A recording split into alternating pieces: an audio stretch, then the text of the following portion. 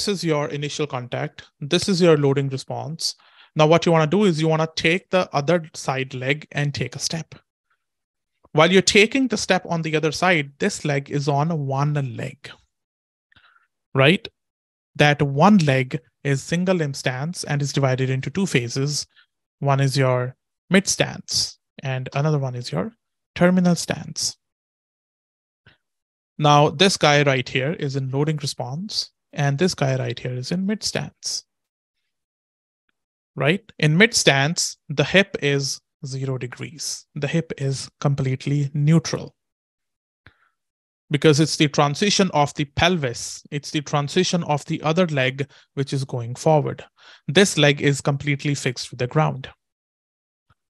The knee has gotten straightened up again, but the tibia has moved a slightly forward with the foot fixed with the floor. Try to do it.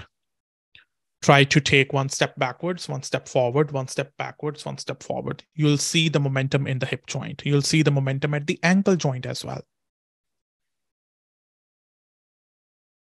The movement, this is basically ankle strategy if you have if you remember uh, second lecture of the neuro what is ankle strategy? When the whole body as a unit moves on the ankle is your ankle strategy.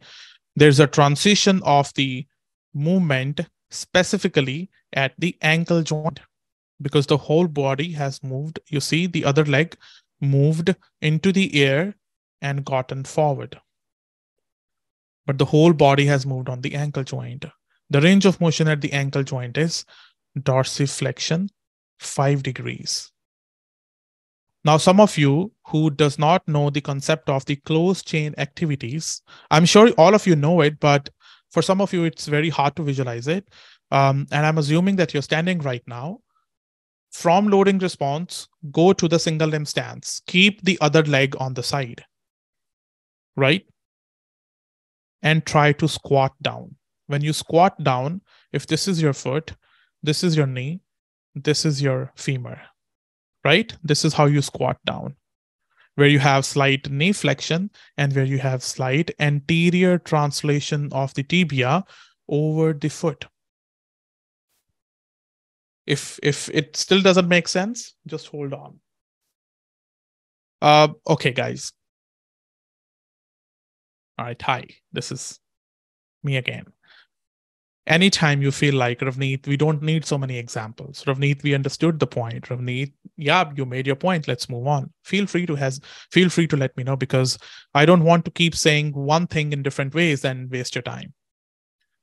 I'm assuming, and what I've heard from last so many years, that gait is very complicated. So I try to bring a lot of examples. So please, your feedback is really important at this time. So what I'm going to do is I'm going to explain you the closed chain activity of the foot. The reason i keep asking you guys because i sometimes i feel anxious to be honest. I feel like maybe i'm talking too much. Maybe uh, uh, i've made my point right? Uh, sometimes i feel like uh, no i need to say it again because i've i've heard these questions before. I've heard these i've heard i've heard people struggling with these concepts. So that's just i'm just delivering the the whole lecture according to what i perceive from people. So that's why I give you the whole liberty to stop me, to ask, and stuff like that. All right. So this is the leg right here. Okay. Let's say you're sitting in a chair. So oh, imagine this hand is my chair, right? And you're sitting in a high sitting position your foot is hanging down. If you want to do the dorsiflexion, what you'll do is you'll move the foot like this. Dorsiflexion, plantar flexion, dorsiflexion, plantar flexion. And this is open chain, dorsiflexion and plantar flexion. But if you want to do dorsiflexion and plantar flexion in closed chain, what you'll do, you'll stand up and you raise your heel up and that's your plantar flexion. If you squat down, that's your dorsiflexion. If you raise your heels up, I hope you're doing it. That's your plantar flexion. So when you raise your heels up, what do you notice at the uh, uh, at the knee joint? They're always extended. So make a point. It's very important. During closed chain, every time you go into plantar flexion, you'll have knee extension. All right. And anytime you go into closed chain dorsiflexion, you'll have knee flexion. Very, very, very important concept. And if you if you can retain it, it'll go, it'll take you to a different level of understanding the concepts in prosthetic and orthotic gait also. So today we are trying to just build a foundation of the whole gait thing. Everyone are okay with the example, plantar flexion, closed chain, dorsiflexion, closed chain.